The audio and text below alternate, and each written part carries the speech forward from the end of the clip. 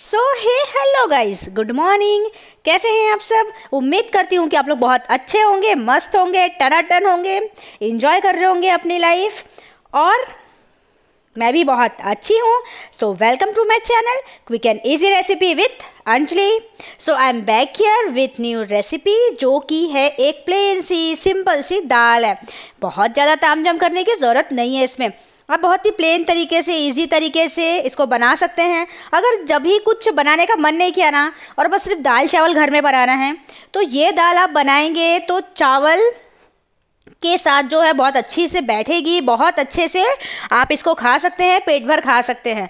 अगर एक ही एक ही दाल बना के बोर हो गए हैं सो प्लीज़ आप ये दाल ट्राई कर सकते हैं, जो कि मैंने बहुत ही प्लेन और सिंपल तरीके से इसको बनाया है। इसमें जो भी मसाले डाले हैं, वो सबके घर में इसीलिए अवेलेबल होते हैं। ज़्यादा हाथ पाँव मारने की ज़रूरत नहीं है।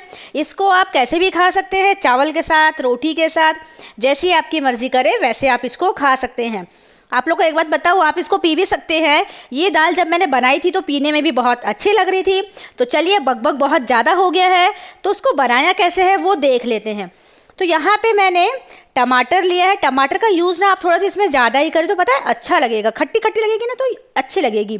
और तुअर दाल लिया है एक कटोरी, और एक कटोरी थोड़े से मैंने छोटा वाला ना आलू ले लिया है, और कड़ी पत्ता ले लिया है, और इन सबको सारे इन सबको आपको डाल देना है कुकरी में मतलब कि कुकर में। कुकर में डालने के बाद उसमें नमक और हल्दी डालें और थोड़ा सा सरसों का तेल डालें।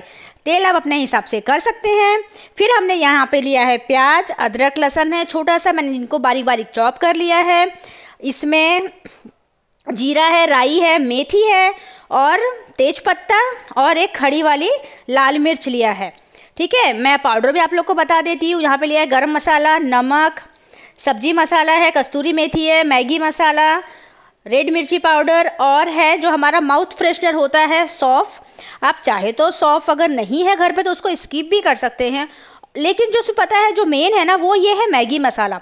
तो कोशिश करना कि मैगी मसाला ना आप लोग ना ज़रूर इसमें डालें, जिससे है ना टेस्ट जो कि है आपका बहुत ही अच्छा आएगा।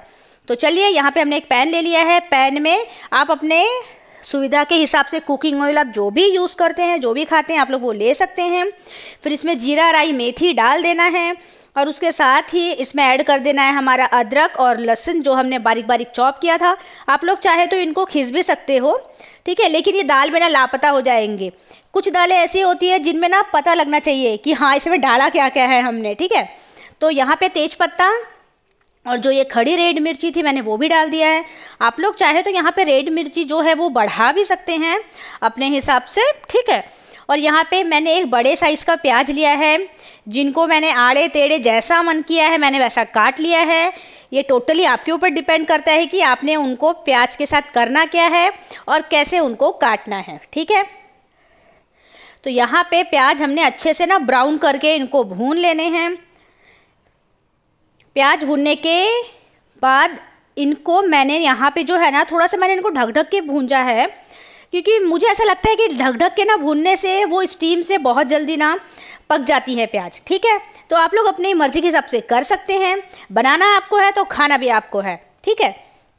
तो यहाँ पे जो भी हमारे पाउडर वाले मसाले थे, वो सारा इसमें मिक्स कर देना है और इसको बहुत अच्छे से चला लेना है। मैंने यहाँ पे थोड़ा सा ना पानी इसमें ऐड किया है, क्योंकि मसाले भी हमारे ड्राई हैं और जो इसमें पक रहे थे, कढ़ाई में वो भी ड्राई थे।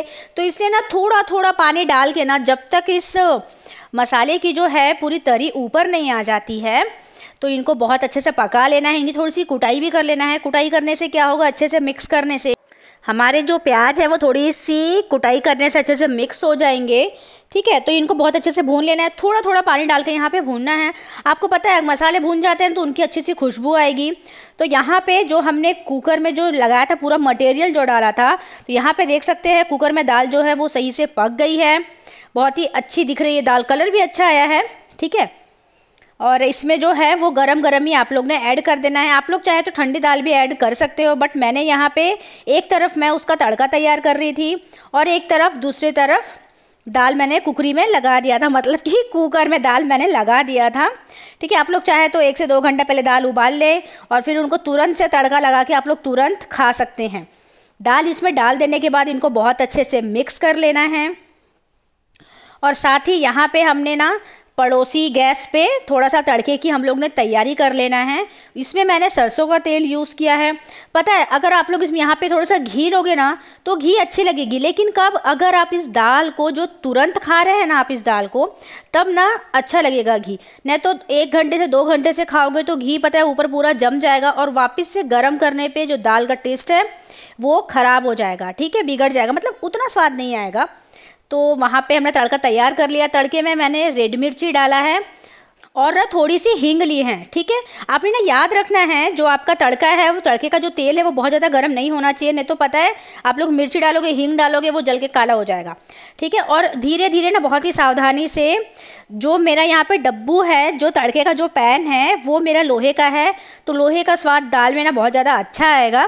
तो इसलिए उसको थोड़ी देर ना, एक से दो मिनट आप लोग ना कोशिश करें कि पैन में ही रहने दें और फिर उनको, उसको पैन को, तड़के वाले पैन को जो है, वो आप लोग निकाल दें।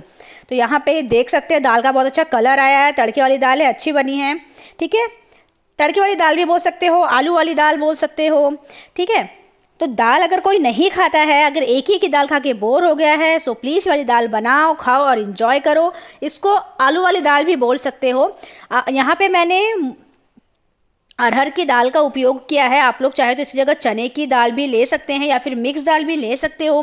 वो आपकी मर्ज़ी, लेकिन पता है, कोशिश करना ना कि आप लोग ना सिर्फ़ अरहर की दाल से तुअर की दाल से ही बनाएँ। अच्छी लगेगी, ठीक है? और यहाँ पे ध्यान रखने वाली बात एक ये है कि हमने इसमें रेड मिर्ची भी डाला है। और इसके तड़के में भी रेड मिर्ची डाली है। तो थोड़ा सा हिसाब से आप लोग कर सकते हैं। ऐसा ना हो कि दाल बहुत ज़्यादा जो है आपका वो तीखा हो जाए, अच्छी नहीं लगेगी। ठीक है, तीखी हो जाएगी। जिन लोगों को तीखा पसंद है, वो लोग कर सकते हो, लेकिन जो लोग तीखा नहीं खाते, थोड़ा संभल के यूज़ करें। और यहाँ पर ना अगर धनिया है तो आप लोग इसमें धनिया डालें। मेरे पास नहीं था तो मैंने नहीं डाला। मिलती हूँ नेक्स्ट वीडियो में। Thank you so much